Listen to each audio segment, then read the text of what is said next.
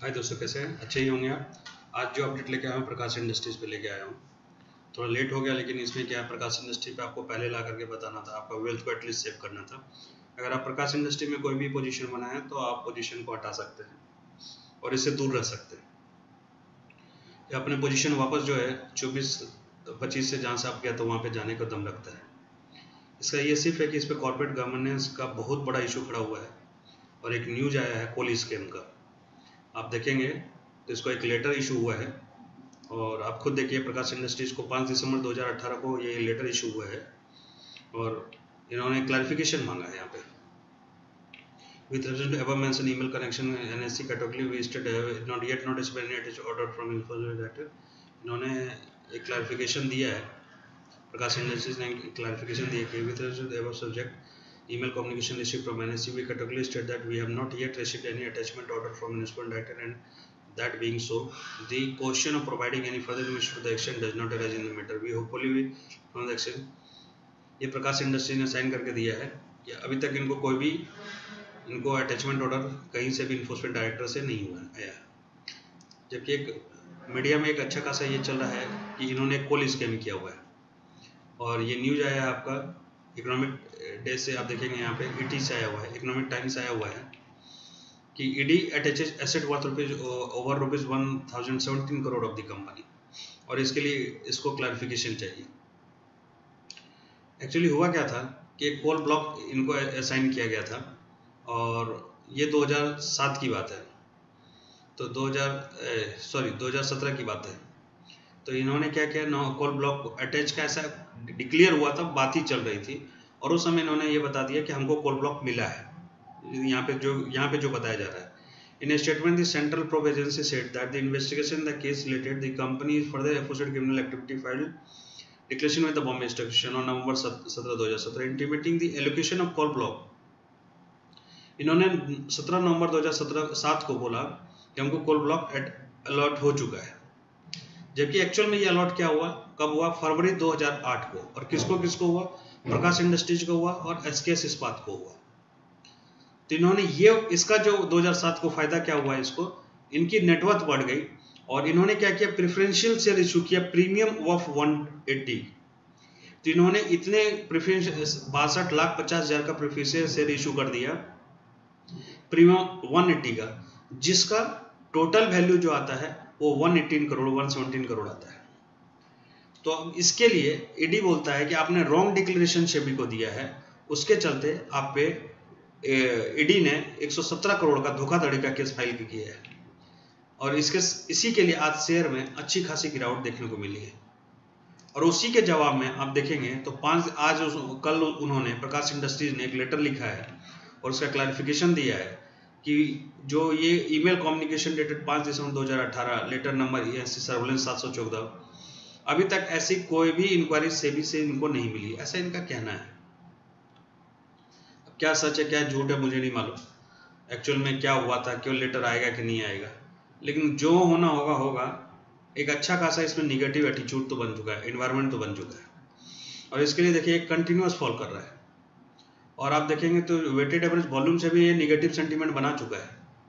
Actual में इसको बरासी बेरासी चौहत्तर पे क्लोज करना था, इक्यासी पचास पे क्लोज किया। तो इसके सारे तरफ़ निगेटिव इन्वायरमेंट दिख रहे हैं। और अगर मैं इसके चार्ट पे जाऊँ ना तो आप देखिए ये जो अप किया था ना, ये यही टाइम पीरियड था जब ये सबसे ज़्यादा अप लिया था। आप इसका अगर मंथली पे जाएँगे ना तो यही पीरियड में जो इसने हब बनाया था ना तो 2007 के आसपास बनाया था। तो उसी न्यूज़ के बाद ये अप गया था। आपका ये पीरियड जो था ना, वो उसी पीरियड में 2007 जून 2007 ये था ना नवंबर 2007 तो आप नवंबर 2007 देखेंगे तो ये देखिए अक्टूबर अक्टूबर, नवंबर, इसी पीरियड में ये जंप लेकर के ये हाई बनाया था। और उसके बाद ये अच्छा खासा गिरावट भी यहाँ से देखने को मिला आपको, फिर वापस बाद में नौ को, सात के बाद। जो भी है तो हो सकता है कि ये, जो आज का फॉल दिख रहा है अभी जो मंथली बेसिस पे ये फॉल दिख रहा है, ये कंटिन्यू रहे और आपको हो सकता है कि वापस ये अच्छा खासा लो आपको यहाँ से दिखा सकता है। तो सबसे पहले कोशिश करके ये six fifty five fifty six को नहीं तोड़े तो अच्छा है। अगर वो तोड़ता है, जो कि ये लेवल है इसका सेवेंटी टू का है तो 72 के लेवल को जब तक नहीं तोड़ता है तो 72 के स्टॉप लॉस पे एक 72 74 ये जो लेवल है 74.096 जो कि इसका 200 डेमा भी है तो इसको नहीं तोड़े तो अच्छा है। तोड़ता है तो ये फिर वापस आपको अच्छा खासा लो लेवल पे आपको देख सकता है। और इसका जो लो लेवल है, यहाँ जो यही बनाया था, यहाँ से जो अप लिया था 44 फोर यहाँ जाएगा। और वापस और नीचे जाना होगा तो नीचे भी जा सकता है। तो जो आपको बताया ट्वेंटी टू हंड्रेड डेमा इसका जो आ रहा है सिक्स सेवेंटी फोर पहले ये सेवेंटी फोर पे रेसिस्ट करेगा। और वहाँ से भी अगर टूटता है तो आपको ये वापस आपको यहाँ पे फोर्टी फोर फोर्टी फाइव पे मिल सकता है। और इसके नीचे जाएगा तो जहाँ से ये चालू हुआ था उठना, यहाँ से हुआ था, क्योंकि इसका थर्टी वन लेवल था, ये level thirty one thirty two यहाँ आप बोल सकते हैं ट्वेंटी फोर ट्वेंटी फाइव तो वापस वहाँ तक के लेवल को भी टच कर सकता है। तो अभी, और इसमें देखेंगे जो मंथली कैंडल बन रहा है, अब इसका जो बॉडी बॉडी देखिए, कितना सॉलिड डार्क है। यानी हंड्रेड एकदम वॉल्यूम के साथ टूट रहा है और अच्छा खासा टूटने पर मादा ये तोड़ने के लिए तैयार है। तो आप इससे दूर रहेंगे तो बहुत अच्छा रहेगा। अगर कोई भी पोजीशन है तो इस पर अभी मत बनाइए। जब तक इनका क्लैरिफिकेशन वगैरह क्लियर नहीं हो जाता है। इन्होंने तो क्लैरिफिकेशन दे दिया कि सेबी ने पूछा नहीं। और इसको अगर दूसरे, अगर एक बार इसके सब चीज़ को जानेंगे, ये क्या करता है, क्या प्रॉफिट है? तो ये तेरह करोड़ की कंपनी है। करंट प्राइस इसका जो आपको दिखा दिया एट्टी वन चल रहा है। ये अपडेट नहीं है एट्टी फाइव का है। फिफ्टी टू हाई गया था, दो सौ छिहत्तर तिरासी का लो है। ये फाइनेंशियली कोई डिविडेंड तो पे नहीं कर रहा है। सेल्स ग्रोथ ठीक है one point two two percent है। अब रिटर्न ऑन इक्विटी और रिटर्न ऑन कैपिटल इम्प्लॉयड पे भी डाउट हो रहा है लोगों को। कि ऐसा तो नहीं कि ये बुक बुक विंडो ड्रेसिंग करके इन्होंने बुक्स को पॉलिश किया है। अगर ऐसा किया है तो समझिए कि ये जो रिटर्न है और इसकी भी, अगर वो, जो आदमी अगर ऐसा सही है कि उन्होंने coal block attach allow attach होने के पहले उन्होंने अगर पब्लिश करके उसका फ़ायदा उठाया है तो कोई फ़ायदा नहीं है उससे। मतलब समझिए, खराबी है। और 2014 के बाद इस लास्ट इसने जो डिविडेंड पे किया 2014 को पे किया है, एक रुपया पर शेयर तो डिविडेंड तो पे नहीं कर रही है चार साल से। उसके बाद और और एक चीज़ निगेटिव बताता हूँ। इसमें निगेटिव ही खाली है। प्रमोटर अपनी पोजीशन भी देखिए। क्वार्टर टू क्वार्टर रिलीज़ कर रहा है। एफआई देखिए क्वार्टर टू क्वार्टर सेल कर रहा है पॉइंट टू थ्री परसेंट से डाइन किया। जून को था, उसका उनचालीस पॉइंट सिक्स सिक्स तो उनचालीस पॉइंट थ्री ज़ीरो पे सेप्टेम्बर में आ गया। जून में तो एफ़ का सिक्स पॉइंट फाइव सिक्स तो सिक्स पॉइंट थ्री थ्री पे आ गया। म्यूचुअल फंड भी देखिए, यहाँ से बाहर निकल रहा है। दूसरा बात, जो भी पोजीशन है प्रोमोटर की, उनचालीस पॉइंट थ्री सिक्सटी परसेंट तो sixty two point six pledge कर, गिरवी रखा हुआ है। मैंने इसकी कैश की पोजीशन भी अच्छी नहीं है। जब कैश की पोजीशन अच्छी नहीं है, अगर एक्चुअली एक बार इसके कैश फ्लो को देख लेते हैं, ये देखिए सेल कितना बताता है ये? आप सेल देखिए तो उनतीस, पैंतीस सौ करोड़ का सेल बताता है। पैंतीस सौ अगर करोड़ का सेल है तो सिर्फ़ इसके पास सात करोड़ का कैश है।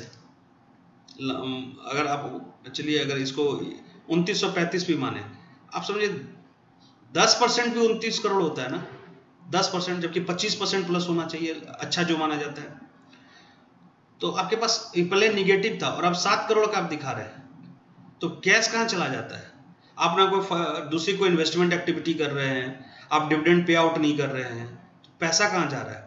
तो यहाँ पे विंडो ड्रेसिंग का केस दिखता है तो स्ट्रॉन्ग कहीं से भी देखता अब तो नहीं है। आप देखिए प्लेजिंग भी है और कैश निकल नहीं रहा है। अब इसके अच्छे चीज़ और बुरे चीज़ को देख लें। अब बुक वैल्यू का 4.45 टाइम्स मिल रहा है। तो अगर किसी को ऐसा ये सोच के लेना है कि बुक वैल्यू के सामने सस्ता मिल रहा है, लेना है तो ले लीजिए। 167 का बुक वैल्यू उसके 0.49 के सामने मिल रहा है। डिलीवरी 33 परसेंट थर्टी परसेंट दिख रहा है मतलब लोग फंस रहे हैं इसमें। वापस लोगों को लग रहा है कि ये तो तीन सौ छप्पन और अच्छे खासे इसके बिहाइंड में नाम भी आए थे क्या बड़े बड़े लोग ने इसको एक्वायर करना चालू किया था। आज से सात महीना, आठ महीना पहले आप देखेंगे तो बड़े बड़े लोगों का नाम आ रहा था इसमें। बड़े बड़े मतलब समझिए कि जो नामी ग्रामीण लोगों ने, उनमें, उन्होंने इसमें पोजीशन बनाई हुई थी। बट ऐसा उस समय शायद कोई प्रूव नहीं था। अब जो आ रहा है, उससे प्रॉब्लम होगी। अब देखिए क्या क्या इसके कंसिक्वेंसेज है? The company is reporting repeated profit, reporting profit, it's not paying a dividend. Profit तो डिक्लेयर करता है डिविडेंड नहीं पेड करता है। प्रमोटर कंटिन्यूस अपने स्टेक को कम कर रहा है। इसकी जो सेल्स ग्रोथ है, वो लास्ट फाइव ईयर से 3.18 के हिसाब से इसका टैक्स रेट जो है बहुत कम है। रिटर्न ऑफ़ इक्विटी तीन साल से 7.29 है। और प्रमोटर ने अपने 62.63 परसेंट को प्लीज़ रख दिया तो आप खुद सोचिए प्रमोटर को खुद ही इस कंपनी में जब बिलीव नहीं है कैश फ्लो जनरेशन नहीं है, कोई इन्वेस्टमेंट प्रपोजल नहीं है, उसके बाद से सेबी का केस आता है। तो आपको लगता है इस पर पोजिशन बनाना चाहिए? मेरे अंदाज से तो नहीं बनाना चाहिए। और ये कोई फ्यूचर का है नहीं शेयर नहीं तो मैं डेरिवेटिव में इसके पोजीशन बता देता। और आप इसको सेल करके बैठ नहीं सकते, आप डेली इसको इंट्राडे कर सकते हैं तो इसमें कोई फ़ायदा होगा नहीं। तो इसमें जो भी है, सात लाख पैंतालीस हज़ार का वॉल्यूम है। वॉल्यूम भी अब धीरे धीरे कम हो रहा है। तो इस हिसाब से मेरा अपना मानना है कि ऐसे स्क्रिप्ट से आपको बाहर आ जाना चाहिए। और अगर कोई भी पोजीशन है, जितना भी वेल्थ है, आपको निकाल के आपको बैठ जाना चाहिए। अगर ये वापस पच्चीस छब्बीस रुपये पे चला गया तो आपको बहुत ही अफसोस करना पड़ेगा। ये सारे एजुकेशन पर्पज से थे। और आपको अगर कोई भी डिसीज़न लेना हो तो अपने फाइनेंशियल एडवाइजर से ज़रूर से ज़रूर बात कर लें, फिर भी डिसीज़न वीडियो देख